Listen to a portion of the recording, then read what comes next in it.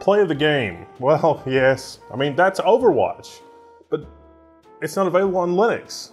But I'm playing on Linux anyway. I'll run what I want, where I want, when I want. if you're just joining us, I'm Wendell, and this is level one.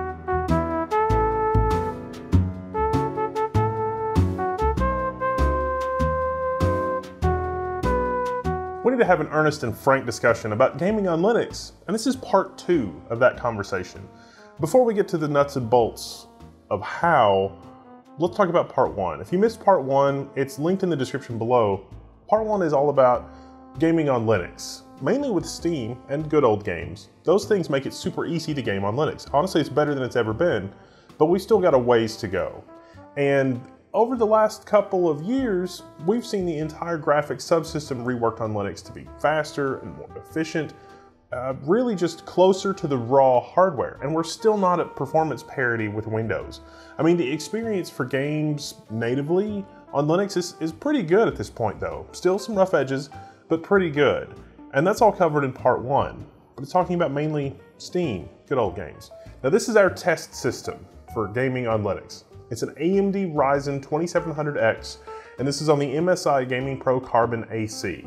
It's in a lovely NZXT S340 case, and it has a Seasonic power supply. The GPU is a Sapphire Vega 64. So we're running 16 gigabytes of G.Skill Trident Z memory, and we're running an Optane 900p for storage. That's a 240 gig or 280 gig.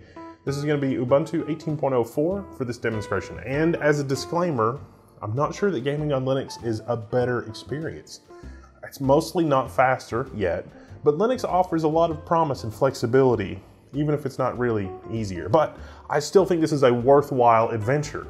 So, what did you just see there with Overwatch? That's a Blizzard title. Blizzard doesn't support Linux, you can't install it from Steam. Let me explain. Some of the most played games over the last couple of years include Overwatch and Fortnite and PlayerUnknown's Battlegrounds. Far Cry 5 is shaping up to be a big release of 2018, and it looks like Monster Hunter World, which was just released, is going to be another big release title for 2018. But none of those have Linux support. So we're stuck, right? No. When the going gets tough, the tough turn programmer. And you can ride their coattails. So for Overwatch, uh, why are we going to let a little thing like no Linux support stop us from playing? Well, it's running in Linux, and I'm using Wine and DXVK with Lutris in order to be able to play Overwatch on Linux for this video. Wine and DXVK are programs that, uh, you know, from different development teams. They're programs from different developers, and they provide a sort of Windows wrapper for Linux. Uh, Wine provides a wrapper for Windows, and DXVK provides DirectX to Vulkan translation on the graphics side of things. Now, Wine is open source, but there is a group of programmers that make up about two thirds of the code commits on Wine, and their company is called Codeweavers. You should definitely check them out. The Codeweavers uh, website, you know, it's a pretty good sized team. They put a lot of work into Wine. So if you use Wine or you find this guide handy, please consider giving them money or buying crossover, donating to their project or something. Now it turns out programmers like to eat too. So if you try this, please, please, please consider giving them some support because hey, a little bit of money goes a long way when you're a developer. Oh, and Wine and Crossover also lets you run Microsoft Office and other other stuff other than games. Now, DXVK is much newer and it's a separate project, and it's about translating DirectX 10 and 11 calls to Vulkan. DirectX is a proprietary API for gaming on Windows, while Vulkan is a truly cross-platform and speedy open graphics API. Now, I tried to find where we could support the DXVK folks, buy them some coffee or beer or something, but they don't accept donations. So this is truly a labor of love. If you don't think of DXVK as a hobby, you know, uh, think of it as a job, uh, would be my message to the developers. And if you want to make the transition from job to like hobby to career, let me know. Contact me. I'll, you know. Wine and DXVK have loads of configuration options that can vary from game to game. It can be a lot of work to figure out exactly what combination of settings lets a game run, like Overwatch. Well, enter Lutris. Lutris is a website and a game launcher that will let you see you know, what combinations of settings have worked for other users of a particular game, so you can spend less time fiddling with those settings and getting it up and running. So for instance, while Overwatch is basically point and click once you're set up with, with Wine and Lutris, and DXVK, you just go to the Lutris website and run the installer script and it configures everything for you with the latest version of Wine that you need and on all of the options. But when you go to play Overwatch, depending on your particular hardware setup, when you are actually in the game, the uh, look screen, like the mouse look, may jump immediately to the top or it may be spinning all the way around to the side. That's just, there's some weird bug where your screen resolution needs to be 16 by 9 or 16 by 10. So if you play with the screen resolution or you hit Alt Enter to go back and forth between, you know, a full screen mode and a windowed mode, it'll it'll help you, you know, sort of work around that issue. There's going to be lots of little weird quirks like that with gaming on Linux. So like I say, it's not for everybody, but it is an adventure and it is worthwhile.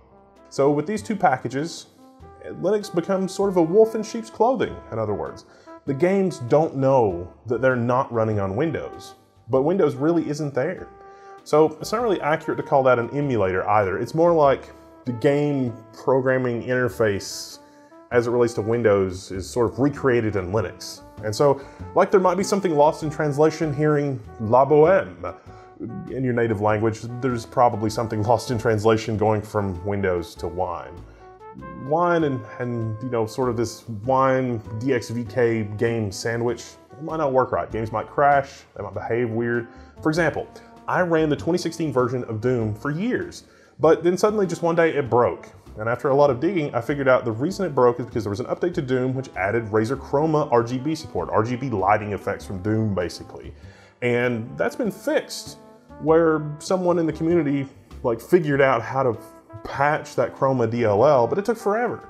So a game that works today might not work fine tomorrow after an update, and then you have to spend a crazy amount of time figuring it out, or somebody does, somebody's coattails that you have to ride on. Copy protection, game copy protection, is one of the big ones that, that doesn't work a lot of the time. So something is definitely lost in translation for copy protection. For example, Far Cry 5, great game, works perfectly under Wine and DXVK, but its copy protection doesn't. So there's a pirated version of Far Cry 5 that's available on the internet without its Denuvo DRM, and that's the only version that's really playable under Linux at this time. So if you want a game and try to get it under Linux on Far Cry 5, you're out of luck, at least if you buy the retail version. Now I mentioned Fortnite. Fortnite is crazy popular and it is playable under Linux, but it has two forms of anti-cheat and only one of them works on Linux. So you gotta jump through some hoops and really those hoops are much longer than I can get into in this video, but Fortnite on Linux does work. Now what about Monster Hunter World? That just came out. Well, I'm happy to report that Monster Hunter World also works, at least for the moment, under Wine with DXVK and Lutris. I mean, honestly, if I were Gabe Newell, I'd be like, oh, let's just give these guys bathtubs of cash or whatever they need. Always check the Lutris website for current statuses and updates because I'm telling you this, but I might be out of date. You should check the Lutris website. Now, there are those in the community that say that you shouldn't support companies that don't don't make a Linux native version, and there's no room in their world for a transitionary period from moving from one platform to another. Don't listen to them. We are in a transitionary period. It's fine. There are other, still more toxic elements of the Linux community that want to act as knowledge gatekeepers. Those guys act like installing Arch Linux is some sort of great personal accomplishment. And I sort of see it like, congratulations, you got your operating system's merit badge. Those folks are toxic, and they are the reason that we don't have things like a Witcher 3 port to Linux. Now, Witcher 3 will run anyway under Wine and DXVK, and it runs pretty well. It's a recent development. Um, and we showed that on our collaboration with the Linus Tech Tips channel. Uh, it's, it's, it's a lot of fun, and you should really you should check that out. Level 1 is hopefully the next generation, more mature version of that community, or people who, among other things, are excited about the promise of a free and open source future. I mean, for me, computing is about an extension of myself. I can offload stuff going on in my brain onto a task on a computer that the computer can do. And I find Linux is particularly well suited for doing those kinds of things. So I'll compute the way that I want to with the tools that are available to me, be that Wine and DXVK, or if I want to run a full fat Windows virtual machine, well, I can do that too. That's what our next video is about, in fact. I don't have to use Windows much, and as awesome as Wine and DXVK are, I, I really don't want to fiddle with the settings and stuff that might break, like my Doom 2016 incident. Instead, I might run something that just works. And for me, that's a virtual machine, a full Windows virtual machine. It's the closest thing to just working as I've ever experienced. It's got some rough edges too, and all the license fees and stuff like that goes with it and all the general Windows terribleness, but I can just boot it up under Linux whenever I need it and shut it down when I don't. I can run games with no fiddling, but to do that, you're gonna need two graphics cards and a fast modern machine, so it's not for everybody. You're also gonna have to wait until our next video to hear more about that, or go back to some of our older videos where we've covered that in the past. But hey, it's, it's developing rapidly and there's a lot of new information that's gonna be in part three and four of this series. But if all this is exciting and you're willing to jump through some hoops and deal with some reduced performance, then welcome. Let's add gaming with Wine and DXVK to your skill set. Beyond just native gaming with Steam, which we showed you before in part one of this video, we're glad to have your noob self here, in other words. It is a grand adventure, and for the new folks, as you read, you dig into information from the larger Linux community at large, you're probably gonna see a lot of the kind of people that are well, embarrassing. Some of those toxic people I was talking about before. Lots of posts that read like they were written by your mad at the world, angsty, emo teenager cousin. And let's face it, he gets around on the internet, let me tell you. When you see that, please remember the open source community is still maturing and it doesn't belong to those gatekeepers that uh, want it their way or no way. If you see bad behavior and that kind of toxicity, please call it out for what it is.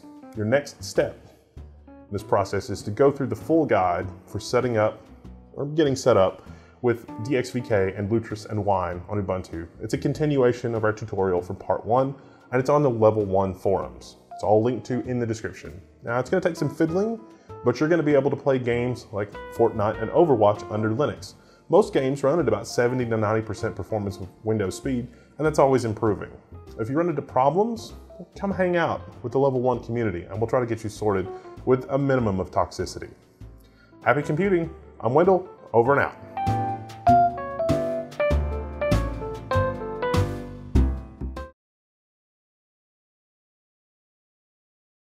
When do the S and C sound the same? When they're necessary. Like this video.